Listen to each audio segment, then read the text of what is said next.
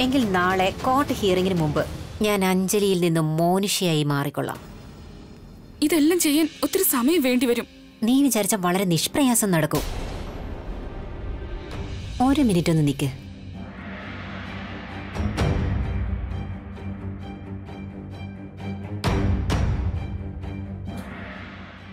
ഇതെന്താ?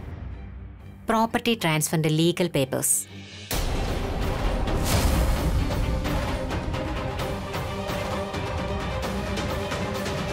എനിക്ക് നന്നായിട്ടറിയാം നിന്റെ ഭർത്താവിന്റെ ആ സുഹൃത്ത് പ്രണവാണ്. അവനാണ് കാര്യങ്ങളൊക്കെ നോക്കി നടത്തുന്നത്. അതുകൊണ്ട് തന്നെ നിഷ്പ്രയാസം ആ രണ്ട് കാര്യങ്ങളെ എന്റെ പേരിലേക്ക് മാറ്റാനാകും. ഈ വീടും ഓഫീസും എന്റെ പേരിലായി കഴിഞ്ഞാൽ ഞാൻ വളരെ എളുപ്പത്തിൽ കോർട്ടിന് മുന്നിൽ മോനിഷയായി മാറിക്കഴിഞ്ഞിരിക്കും.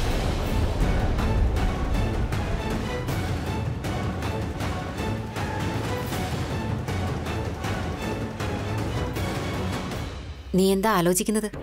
ഞാൻ ആലോചിക്കുമായിരുന്നു നീയാണ് മോനിഷയാണ് കൂടുതൽ തരം താഴ്ന്നതെന്ന് നിനക്ക് എങ്ങനെ എന്നെ മോനിഷയായി കമ്പയർ ചെയ്യാൻ കഴിഞ്ഞു? അവർ നിന്റെ ഭർത്താവിന്റെ ജീവൻ എടുക്കാനാണ് ശ്രമിച്ചത്. പക്ഷെ ഞാൻ നിന്റെ ഭർത്താവിനെ രക്ഷിക്കാനാണ് ശ്രമിക്കുന്നത്. അതിന് പകരമായി ഞാൻ കുറച്ച് പണമല്ലേ ആവശ്യപ്പെട്ടിട്ടുള്ളൂ? എനിക്ക് പ്രശ്നമൊന്നുമില്ല. നീ വേണമെങ്കിൽ ആ മോനിഷയ്ക്ക് ഫസ്റ്റ് പൊസിഷൻ കൊടുത്തോ. ഞാൻ സെക്കൻഡ് പൊസിഷനിലേക്ക് അഡ്ജസ്റ്റ് ചെയ്തോളാം. ഞാൻ പണം. അത് മാത്രമേ മാറ്റർ ചെയ്യുന്നുള്ളൂ.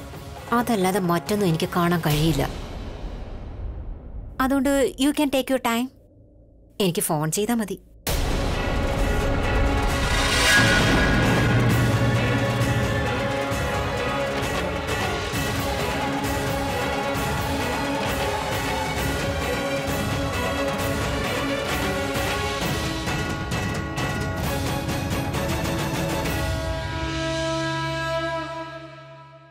പറയുന്നത് സമ്മതിച്ചാൽ കുടുംബം മുഴുവൻ ഈ വീട്ടിൽ നിന്ന് ഇറങ്ങേണ്ടി വരും.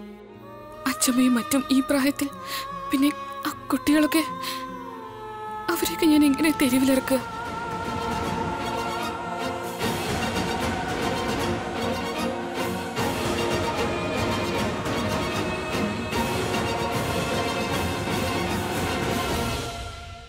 സോറി മിസസ് മേനോൻ എന്റെ സമയം ശരിയാക്കാൻ എനിക്ക് നിന്റെ സമയം മോശമാക്കേണ്ടി വരും.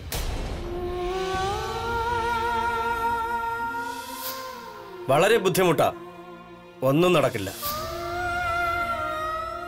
നീ എന്റെ അബിയുടെ കൂടെ ഉള്ളിടത്തോളം എന്റെ അഭിമോനും ഒന്നും സംഭവിക്കില്ല.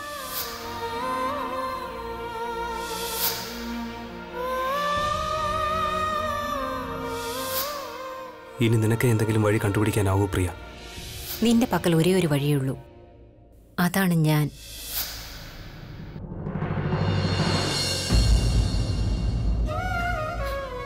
പ്രിയ. അമ്മേ.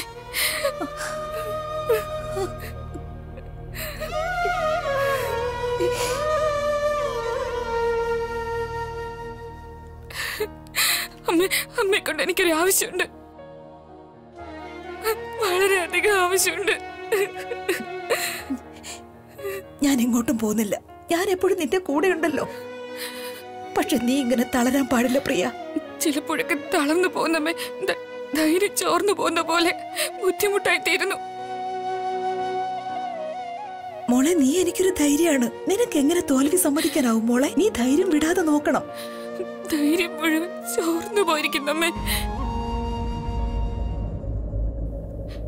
എല്ലാം കാൽ കീഴിൽ നിന്ന് ഒലിച്ചു പോകുന്നതായി തോന്നുമ്പോ ഒന്നും ചെയ്യാനാകുന്നില്ല. ഒന്നിന് കഴിയുന്നില്ല. പ്രിയ. അമ്മേ. അമ്മ എനിക്കൊരു ചോദ്യത്തിന് ഉത്തരം തരണം. എനിക്ക് ഏറ്റവും പ്രധാനപ്പെട്ടത് എന്താണ്? ഈ കുടുംബം. ഈ കുടുംബത്തിലെ സന്തോഷങ്ങൾ. ഈ വീട്. അപ്പോ ആ മനുഷ്യനും എനിക്കിതെല്ലാം നേടിത്തന്ന ആ മനുഷ്യൻ നിനക്കുത്തരം കേൾക്കണമെന്നുണ്ടോ? ഞാൻ തരാം നിനക്കുത്തരം. വാ. ഇവിടെ ഇരിക്കെ.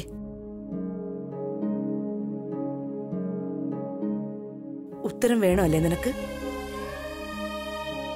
ആ. നിനക്ക് ഏറ്റവും പ്രധാനം ആ ഒരാളാണ്. ആ ഒരാളുണ്ടെങ്കിലേ നീയുള്ളൂ. ആ ഒരാളുണ്ടെങ്കിലേ നിന്റെ സന്തോഷമുള്ളൂ പ്രിയ. ആ ഒരാളുണ്ടെങ്കിലേ നിന്റെ ഈ നെറ്റിയിലെ സിന്ദൂരത്തിൽ തിളക്കം ഉണ്ടാകൂ. ആ ഒരു കാരണത്താലാണ് നിന്റെ എല്ലാ ബന്ധങ്ങളും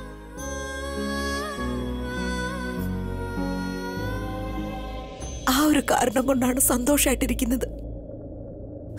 അതില്ലെങ്കിൽ പിന്നെ ഒന്നുമില്ല. നീ അതെന്നോട് പറയാൻ ആഗ്രഹിക്കുന്നുണ്ടാവില്ല. പക്ഷെ എനിക്കറിയാം അഭിയില്ലാതെ പ്രിയ ഒന്നുമല്ല എന്ന്. ഒന്നുമല്ല അഭി അഭിയുണ്ടെങ്കിലേ നീയുള്ളൂ. അഭിയിലാണ് നിന്റെ സന്തോഷം. നിന്റെ എല്ലാ ബന്ധങ്ങളും തുടങ്ങുന്നത് അവനിൽ നിന്നാണെന്ന് എനിക്കറിയാം. അതുപോലെ എല്ലാം അവസാനിക്കുന്നതും അവനിലാണ്. അതൊക്കെ ഈ അമ്മയ്ക്കറിയാം മോളെ.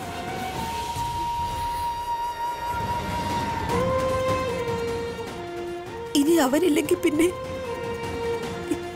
ഈ ഈ വീട് കൊണ്ട് എന്ത് കാര്യം?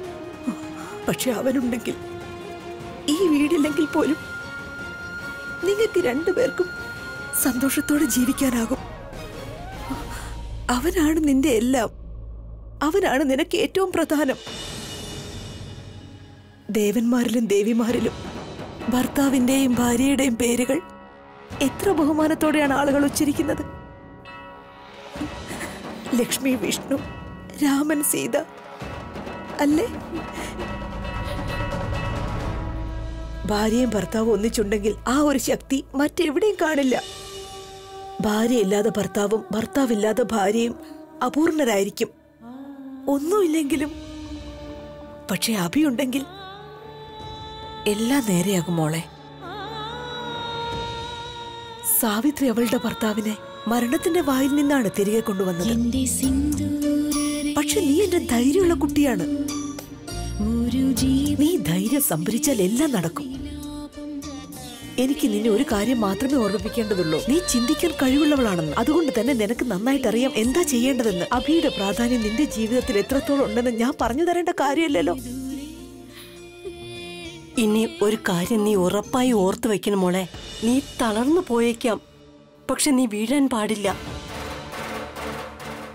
നിനക്ക് നിരാശയുണ്ടാകാം. പക്ഷെ തോൽവി സമ്മതിക്കരുത് മോളെ.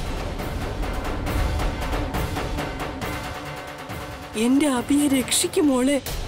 അതിനു വേണ്ടി എന്ത് വില കൊടുക്കേണ്ടി വന്നാലും നമുക്ക് എല്ലാവർക്കും ചേർന്ന് ആ വില കൊടുക്കാം. എന്റെ അഭിമോനെ രക്ഷപ്പെടുത്തിയാൽ മതി. പിന്നെ ആ ജോലി അത് നിനക്ക് മാത്രമേ ചെയ്യാനാവൂ. ആ നിനക്ക് അതിനാകും മോളെ. ആ അത് നിനക്ക് ചെയ്യാനാവൂ.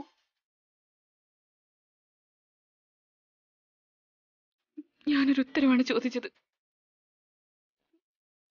അമ്മ എനിക്ക് വഴി കാണിച്ചു തന്നു.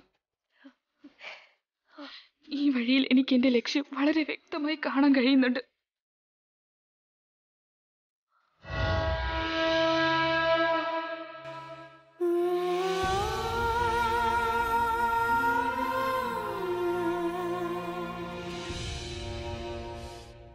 ഐ സോ ഹാപ്പി കാരണം നീ ആ കിരണിനെ ഇൻസൾട്ട് ചെയ്തില്ലേ? ഐ വിഷ് അവന്റെ മുഖം കാണാൻ ഞാൻ അവിടെ ഉണ്ടായിരുന്നെങ്കിൽ ആ സ്റ്റുപ്പിഡിന് ഇത് തന്നെ വേണം. ഓ ഗോഡ് ബേബി ഒരു സെക്കൻഡ് ആരുടെ കോൾ വരുന്നുണ്ട്? ലിസൺ ആ സ്റ്റുപ്പിഡ് കവിത എന്റെ വിളിക്കുന്നുണ്ട്. ഞാൻ അവരെ വിളിച്ചിട്ട് നിന്നെ വിളിക്കാം. Okay okay bye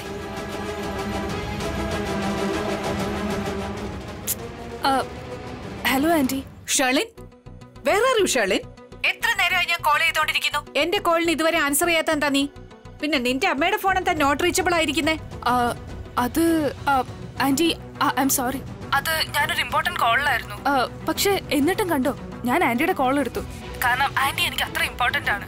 പിന്നെ അമ്മയുടെ ഫോൺ കിട്ടാത്ത എന്താന്ന് ഐ ഡോ നോ അത് ഞാൻ ഓഫീസിലേക്ക് പോവുകയല്ലേ?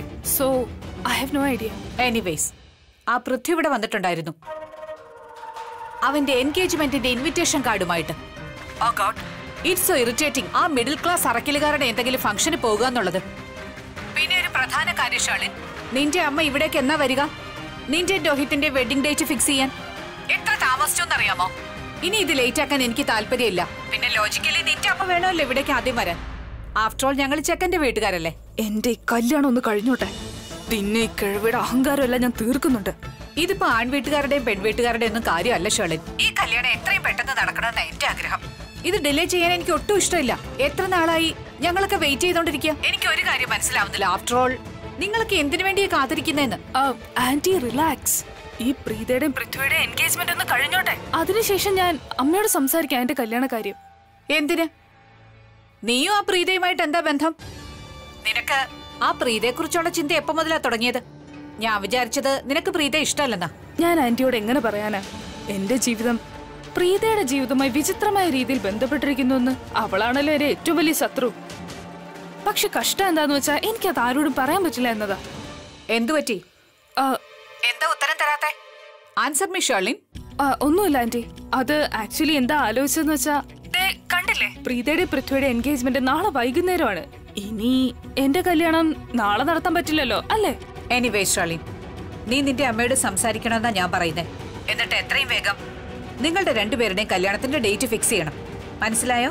ഓക്കെ ബൈ ആന്റി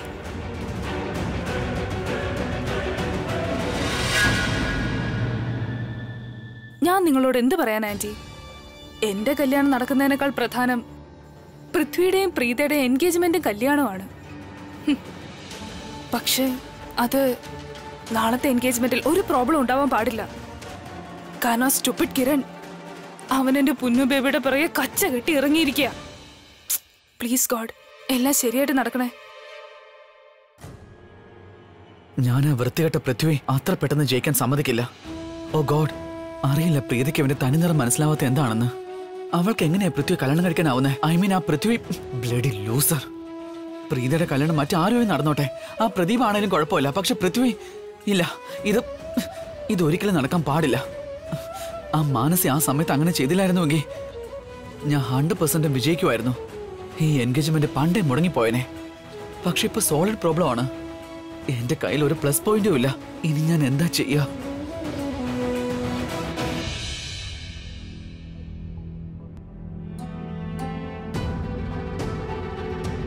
ഞാൻ പോയിരിക്കും.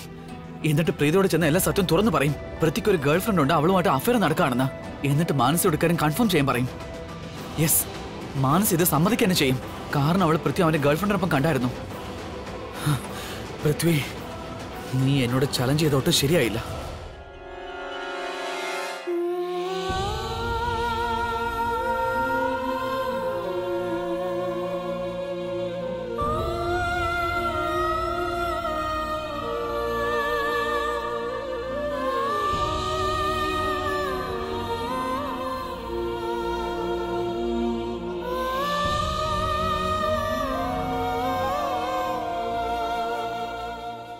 അങ്ങയെ വീട്ടിലേക്ക് കൊണ്ടുവരാനുള്ള പ്രതിജ്ഞ എനിക്ക് പൂർത്തിയാക്കാനാവില്ല.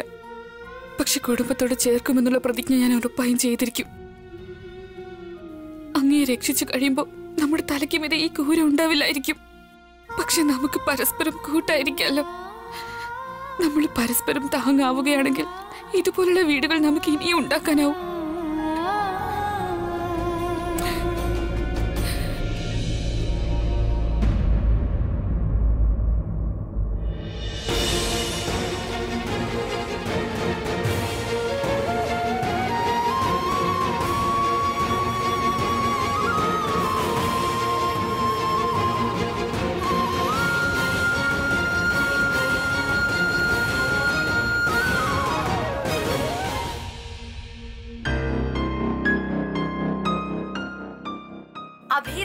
സ്റ്റാർ ലക്ഷക്കണക്കിന് ആളുകളുടെ ഹൃദയത്തുടിപ്പ്. അയാൾ ഇത്രയും വലിയൊരു തട്ടിപ്പുകാരനാണെന്ന് ആരും പ്രതീക്ഷിച്ചു കാണില്ല. ഭാര്യയായിട്ട് പ്രിയ വീട്ടിനകത്തും കാമുകിയായിട്ട് മോനിഷ വീട്ടിന് പുറത്തും. ഇത് വിശ്വസിക്കാൻ പറ്റുന്നുണ്ടോ? അഭിഷേക് മേനോന് മോനിഷയുമായിട്ടുള്ള ബന്ധം? Oh I'm sorry. അവിഹിത ബന്ധം. ഒരു കോൺസേർട്ടിൽ നിന്നാണ് ആരംഭിച്ചത്. ഇൻട്രസ്റ്റിംഗ്. ഇങ്ങനെയുള്ള വലിയ ആളുകളല്ലേ ഷോക്കും കൊണ്ട് നടക്കേണ്ടത്?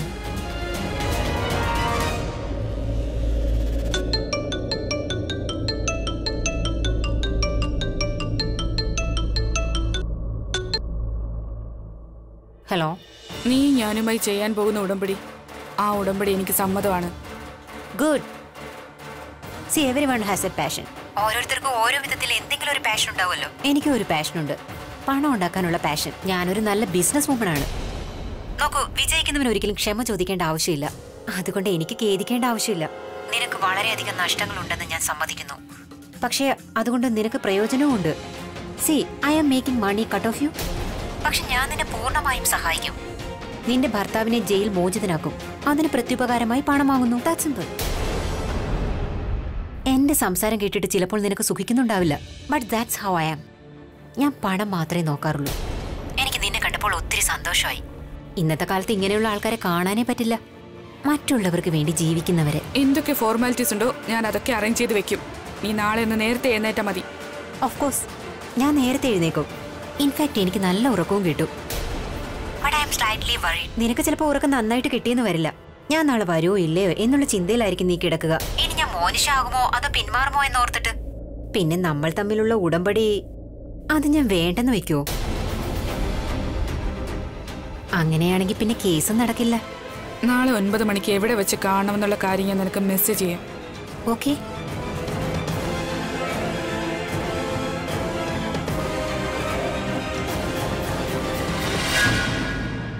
അമ്മ ഇത് നോക്ക്. ഇത് നല്ല ഭംഗിയില്ലേ? ഇത് എങ്ങനെയുണ്ടെന്ന് നോക്ക്. നന്നായിട്ടില്ലേ? ഇതും കൊള്ളാം. പക്ഷെ എനിക്ക് ഇതാ കൂടുതൽ ഇഷ്ടപ്പെട്ടത്. ഞാൻ ടോട്ടലി കൺഫ്യൂസ്ഡ് ആണ്. എടാ മോനെ നീ ഇത് ഇത്ര പെട്ടെന്ന് എങ്ങോട്ടായി പോന്നേ? ആ? ഇല്ലമ്മേ ഞാൻ ഇവനെ വേറെ ഒരു ജോലി ഏൽപ്പിച്ചിട്ടില്ല. കവിത ചേച്ചിയുടെ ബർത്ത്ഡേയുമായി ബന്ധപ്പെട്ട്. ഓ പെട്ടല്ലോ. എനിക്ക് പ്രീതിയുടെ വീട്ടിലേക്ക് പോവാൻ വേണം. പക്ഷെ ഇവർ